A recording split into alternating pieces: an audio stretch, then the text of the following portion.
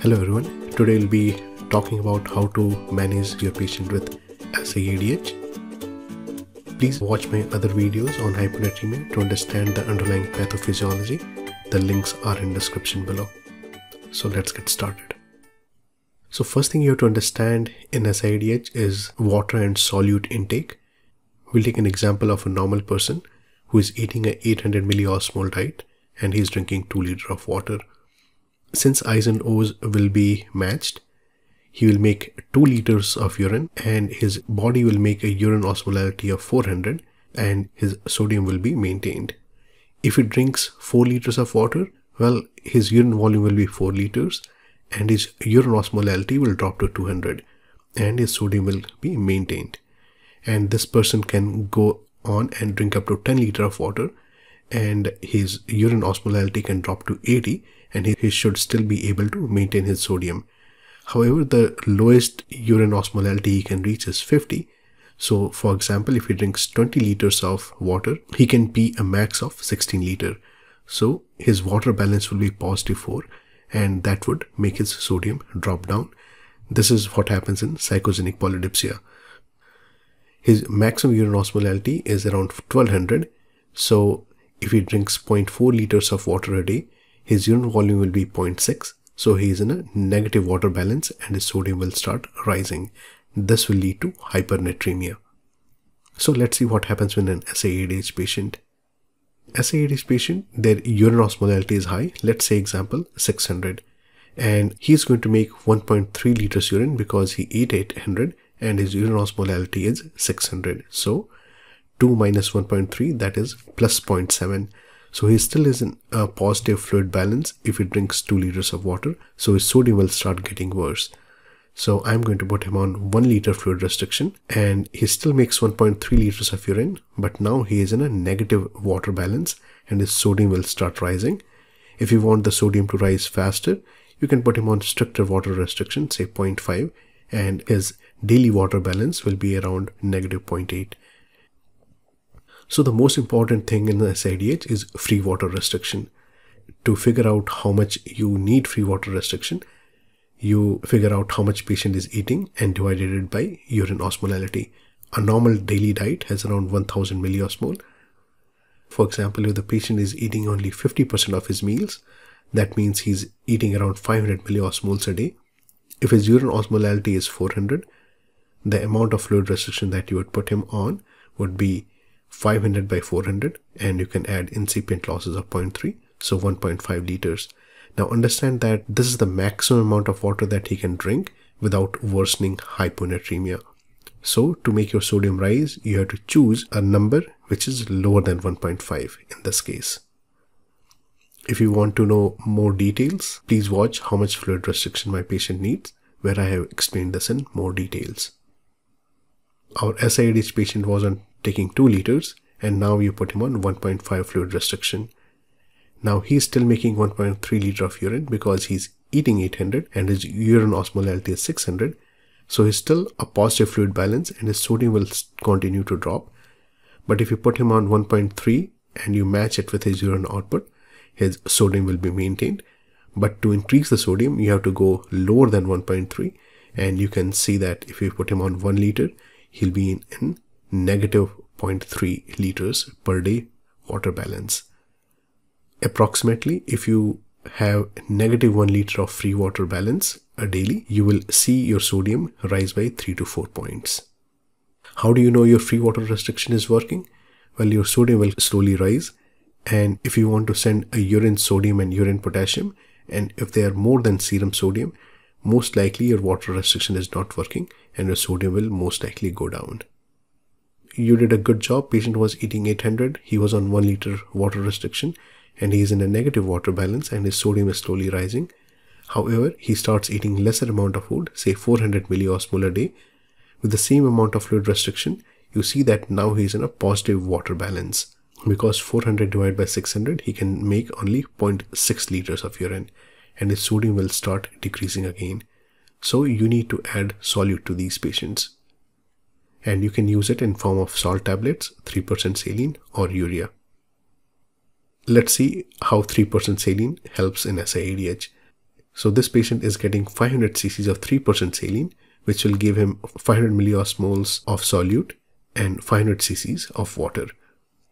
So his total solute intake is 1300.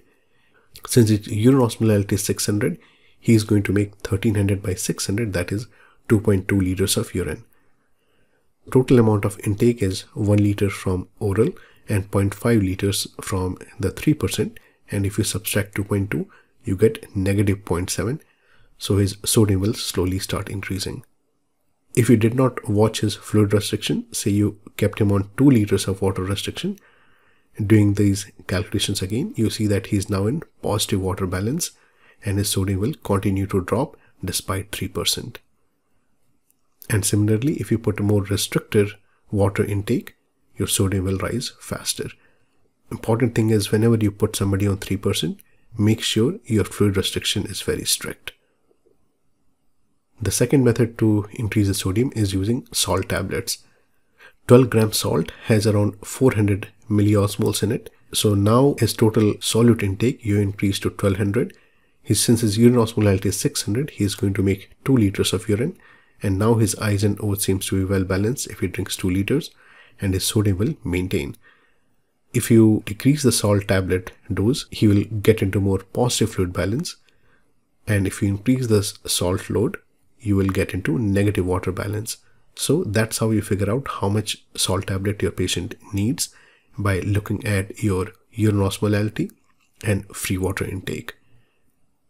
Use of salt is very useful in chronic hyponatremia as an outpatient. However, you can use it in your inpatient population as well. Some people use urea for the same reason. Molecular weight of urea is 60. So 60 gram of urea gives you 1 osmole. If you give him 30 grams of urea per day, which is equal to 500 milliosmole, he is going to make 2.2 liters of urine and he will be in negative water balance. So looking at amount of urea, amount of food that he's eating, urine osmolality and water intake, you can figure out what would be the dose of urea that is required. Urea has shown to re reduce the risk of osmotic demyelination syndrome in animal models. So this may explain why ESRD patients with hyponatremia do not develop ODS after hemodialysis, which corrects their sodium pretty rapidly.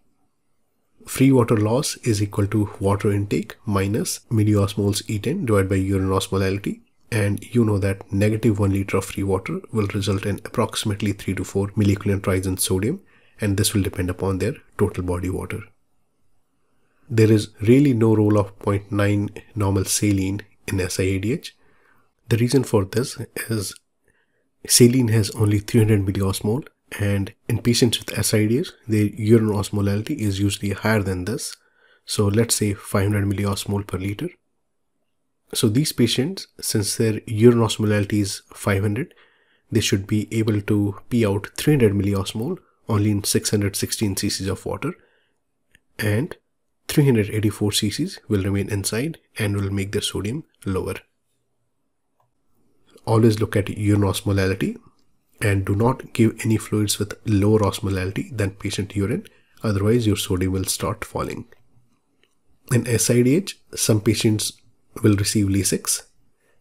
In a normal person, sodium potassium 2 chloride channel pumps out sodium into the renal medulla to maintain the medullary concentration and gives an osmotic gradient so that water can be reabsorbed through aquaporin channels. Lasix blocks these channels and because of diuresis and hypovolemia, your aquaporin channels increase in number in the distal convoluted tubules. However, since no sodium is able to enter renal medulla, the medullary concentration drops. Therefore, the gradient for water movements decreases significantly and there is more loss of free water in the urine. Thiazides work on the sodium chloride channel in renal cortex. So if you block these channels with thiazides, you will have similar increase number of aquaporin channels in your distal convoluted tubules. However, you still have that high gradient for free water absorption Therefore, more free water is going to absorb and can result in hyponatremia. The same patient with SIADH on 2 liter fluid restriction, his sodium was dropping because he was drinking 2 liters. However, if you give him Lasix, you will drop his urine osmolality, say to 300. Now his urine volume is 2.6 liters and now he is in net negative water balance. So his sodium will improve. Vaptans and demeclocycline, they decrease urine osmolality by antagonizing ADH receptors. We have V2 receptors in the distal convoluted tubules and the ADH will result in aquaporin channels and that will absorb free water. However, Vaptans will block this receptor and your aquaporin channels will be internalized and you will be losing a lot of free water in the urine and that will help your hyponatremia. Vaptans have been shown to improve sodium and some mental scores but there is really no improvement in other markers like mortality. And these drugs can cause rapid rise in sodium as well. We have tolvaptan which is available as oral medication but it has been shown to have few complications like progression of polycystic kidney disease and elevation of liver enzymes. For the treatment for SIADH, treat the underlying pathology that's causing SIADH. Have your patient on free water restriction.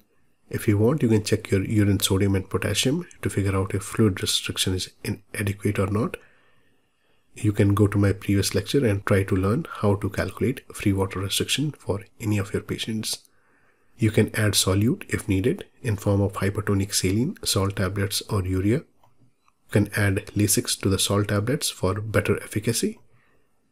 You can certainly use other medications like tolvaptan, demeclocycline. However, these are mostly used in outpatient and its use would be best left to nephrologist Try to avoid these medications in inpatient settings.